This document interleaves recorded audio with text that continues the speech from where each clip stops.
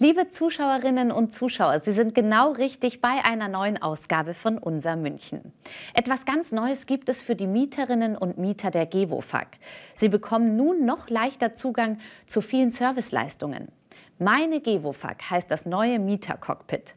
Das ist ein breites Serviceangebot über ein eigenständiges Online-Portal oder eine Smartphone-App. Damit lassen sich viele Anliegen bequem und rund um die Uhr digital erledigen. Meine Gebofag. So heißt die neue Mieter-App der städtischen Wohnungsbaugesellschaft. Eine App für Smartphone und Tablet, aber es gibt auch eine Browser-Version für Laptop und PC. Alle Infos gibt es hier unter www.gewofag.de/app. Meine Gewofag ist eine Art Mieter-Cockpit, von dem aus Gewofag-Mieter alle Anliegen rund um ihr Mietverhältnis steuern können. Bequem online am Wunschort und zur Wunschzeit. Mit Meine Gewofag können Mieterinnen und Mieter zum Beispiel wichtige Dokumente anfordern oder Antworten auf viele Fragen finden.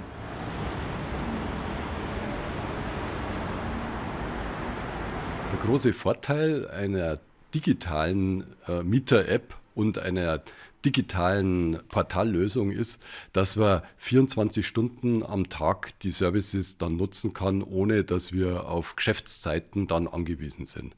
Und natürlich unsere Mieterinnen und Mieter ihre Anliegen rund um die Uhr uns dann über die App digital, dann aber an Menschen dann rantragen können. So sieht das Ganze aus und dass man den Nutzen dann auch sieht, schauen Sie sich selber an und probieren wir es einfach mal aus.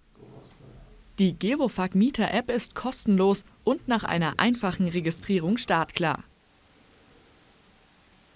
Da war mir persönlich besonders wichtig, dass man es nicht nur als App auf dem Smartphone nutzen kann, sondern auch ganz normal am PC oder am Laptop als Internetportallösung, als Browserlösung, sodass man auch bequem zu Hause dann seine Anliegen dann vorbringen kann. Beispielsweise Vertragsdaten dann abrufen kann oder seine Störmeldung abgeben kann oder andere Services nutzen kann. Aber es ist eine zusätzliche Servicemöglichkeit. Unser bewährter telefonischer Mieterservice bleibt natürlich äh, für unsere Mieterinnen und Mieter erhalten. Rund 5000 Mieterinnen und Mieter nutzen bereits meine Gewofag, um ihre Anliegen zu melden. Seien es zum Beispiel Schäden in der Wohnung oder ein neues Haustier. Wer sich bis Mitte Juni registriert, kann zudem an einem Gewinnspiel mit attraktiven Preisen teilnehmen. Gut gerüstet für die Bankgeschäfte. Damit hat man quasi seine Filiale in der eigenen Hosentasche. Wer sein Girokonto bei der Stadtsparkasse München für Online-Banking freigeschaltet hat, kann so auch die beliebte App Sparkasse nutzen. Viele Vorteile sind damit verbunden. Welche? Wir zeigen es Ihnen. Ob Überweisungen tätigen, Kontoumsätze einsehen oder Daueraufträge einrichten oder ändern. Das Online-Banking bei der Stadtsparkasse München bietet viele Vorteile. Und der Kunde braucht eigentlich nur ein Konto bei der städtischen Bank. Dafür muss er nicht mal zwingend volljährig sein. Denn Online-Banking ist auch mit Einschränkungen für Minderjährige möglich. Und es gibt auch noch was ganz Neues. Ganz zum Online-Banking ist der Finanzplaner. Der Finanzplaner analysiert Ihre Kontoumsätze und erschafft daraus verschiedene Prognosen. Zum einen erschafft er Ihnen eine Kontostandsprognose innerhalb der nächsten 10 bis 14 Tage. Also sagt Ihnen, hey, wenn es so weitergeht, haben Sie zum so und so vielten noch so und so viel Geld dem Konto, was sehr gut hilft beim Haushalten. Und wenn man direkt weiter haushalten möchte, dann hilft einem der Finanzplaner auch, die Umsätze zu kategorisieren. Der sagt einem, so viel geben Sie für Lebensmittel aus, so viel für Reisen, so viel sparen Sie, so viel für Versicherungen etc. Wer Online-Banking bei der Stadtsparkasse München hat, kann sich in der Regel den Weg zur nächsten Filiale sparen. Er hat diese nämlich quasi in seinem PC zu Hause oder mobil auf seinem Smartphone. Sehr praktisch ist auch der Vertragscheck. Der Finanzplaner hat auch noch einen eingebauten Vertragscheck. Auch hierbei werden Ihre Umsätze innerhalb der letzten Monate analysiert und es werden wiederkehrende Buchungen herausgestellt. Und dahinter verbirgt sich ja meistens sowas wie Stromrechnungen, also Stromanbieter, Mobilfunkanbieter etc. Und sie haben auch da über den Vertragscheck die Möglichkeit, den Vertrag zu kündigen. Wenn sie sagen, das ist was Altes, brauchen sie nicht mehr. Und bei manchen Verträgen können sie sogar direkt sich ein Vergleichsangebot einholen lassen. Wer bargeldlos bezahlen möchte, zum Beispiel mit Apple Pay, für den ist Online-Banking Grundvoraussetzung. Der Filialfinder zeigt die nächste Geschäftsstelle samt Öffnungszeiten und Geldautomaten an. Der Kontowecker informiert per E-Mail oder Push-Nachricht über den Gehaltseingang oder wenn das Konto mal ins Minus rutscht. Unser Online-Banking ist sicher. Ähm, es ist natürlich wichtig, dass man sorgfältig mit den Daten umgeht, die man selber nutzt, um das Online-Banking zu verwalten, wie den eigenen Anmeldenamen und die PIN. Ist vergleichbar wie mit dem, mit dem Geldbeutel. Den lasse ich ja auch nicht offen liegen. Also meine EC-Karte drücke ich ja auch nicht mitsamt PIN irgendwie im Fremden in die Hand. Wichtig ist also, immer die Zugangsdaten für sich zu behalten. Dazu gehört der Anmeldename, die Online-Banking-PIN und ganz besonders die TAN die Quellen des Münchner Trinkwassers und die herrliche Landschaft Oberbayerns entdecken.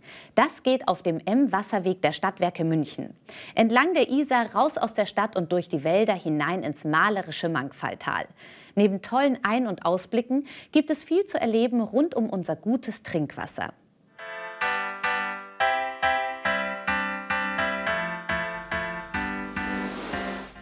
Vom Deutschen Museum aus geht's immer Richtung Süden. Egal ob auf dem Rade oder zu Fuß.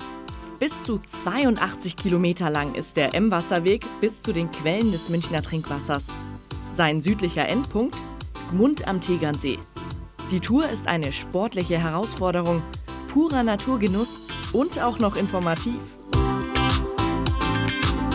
Höhepunkte sind die Trinkwassergewinnungsanlagen im Mangfalltal. Allen voran das Wasserschloss Reisach – erbaut von 1902 bis 1913. Tief im Grundwasser liegende Sammelkanäle fassen das Wasser und führen es sternförmig auf die Fassung zu. Egal ob Wanderung oder Radeltour.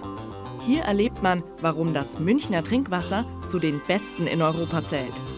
Die Stadtwerke München gewinnen es in idyllischer, nahezu unberührter und streng geschützter Natur. Wem die 82 Kilometer zu lang sind, der kann die Route auch in kürzere Etappen aufteilen. Haltestellen der S-Bahn und der Bayerischen Regionalbahn sowie die Busse des RVO bieten gute Abkürzungsmöglichkeiten. Für E-Bike-Fahrer gibt es an drei E-Ladestationen die Möglichkeit, den Akku wieder aufzufüllen. So wie hier am Spiralschacht bei Thalham. Hier steht auch das imposante Kunstwerk Tränen der Erde.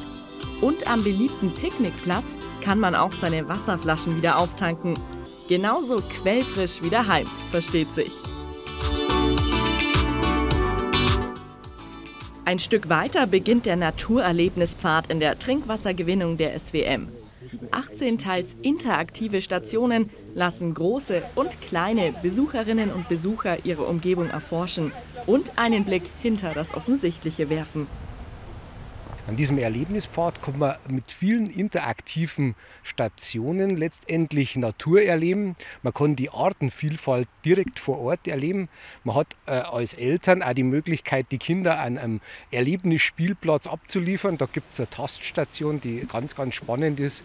Dann äh, kann man unheimlich viel Wissen über den Wald mitnehmen und das dann auch ganz spielerisch und kann man viel mit heimnehmen und deshalb ist es auch in der freien Natur wunderbar zu genießen.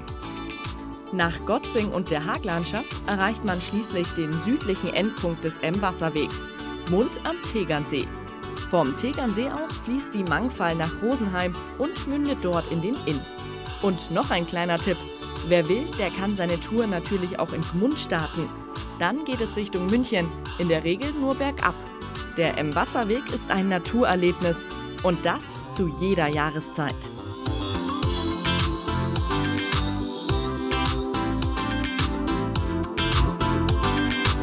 Wir machen jetzt weiter mit unserer Rubrik Veranstaltungen.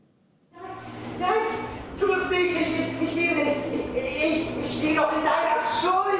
Nein, tu es nicht. Nein!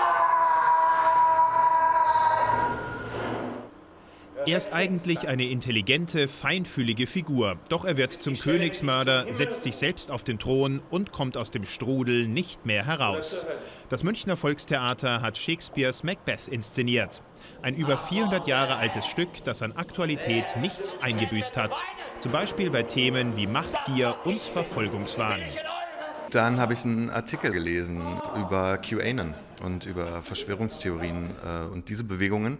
Und da habe ich gedacht, das passt zu Macbeth. Ich finde, das ist genau das, was Shakespeare da entwirft. Das ist jemand, der auf eine Geschichte, auf eine Wahrheit trifft, die sein Leben verändert und die ihn antreibt, die ihn auf eine Schiene schiebt, von der er dann nicht mehr runterkommt. Und so kam die Entscheidung, das dann zu machen. Und ähm, das war auch mit, dem, mit diesem Sturm auf dem Kapitol. Das war, das waren, das waren, äh, ja, das, das, hat sich dann immer so gesteigert und so sind wir in den Stoff rangegangen. In dieser Zeit war man mit eingeschlagenem Schädel tot! Das geht um einen Kriegsherr, die Titelfigur Macbeth, der aus dem Krieg kommt und auf drei Hexen trifft. Die drei Hexen sagen ihm, du wirst König. Und dann beginnt er daran zu glauben. Und er beginnt daran zu glauben, dass er es wirklich machen wird. Und mit seiner Frau gemeinsam äh, fasst er dann den Entschluss, das wirklich zu tun. Und dann begibt er sich auf die Reise. Er bringt König Duncan um und schafft es, ähm, König zu werden. Ähm, kann sich auf dem aber nicht ausruhen und fühlt sich verfolgt. Äh, denkt, dass sein guter Freund äh, Benko, der sein Gefährte ist, sein Kriegsgefährte, davon weiß und ihn stürzen wird, den bringt er auch noch um und damit kippt es ganz. Ein Tyrann, der sich selbst um Schlaf, Vernunft und Menschlichkeit bringt. Macbeth, neu auf dem Spielplan im Münchner Volkstheater.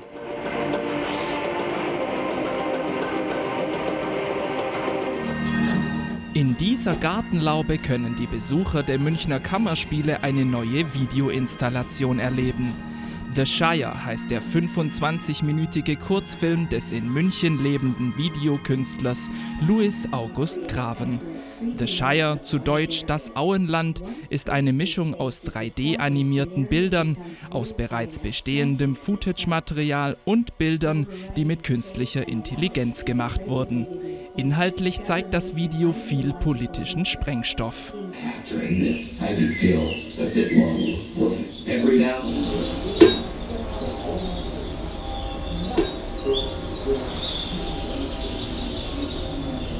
Es ist extrem politisch. Also es geht eben darum, dass ähm, äh, äh, dass es auf einmal ähm, Silicon Valley Startups gibt, die sich offen patriotisch ähm, und eigentlich auch rechtskonservativ positionieren und ähm, deren CEOs offen rechtskonservativ agieren und sich äußern. Und das ist so ein bisschen neu. Außerdem stellen sie sozusagen hochkontroverse Technologien direkt ähm, der Regierung zur Verfügung. Was es zwar vorher auch schon gab, also Google hat auch schon mal irgendwie mit der Regierung zusammengearbeitet, aber das sind Startups, die speziell darauf spezialisiert sind, Lösungen für Regierungsorganisationen ähm, ähm, zu produzieren und das ist schon ähm, brisant auf jeden Fall. Ja.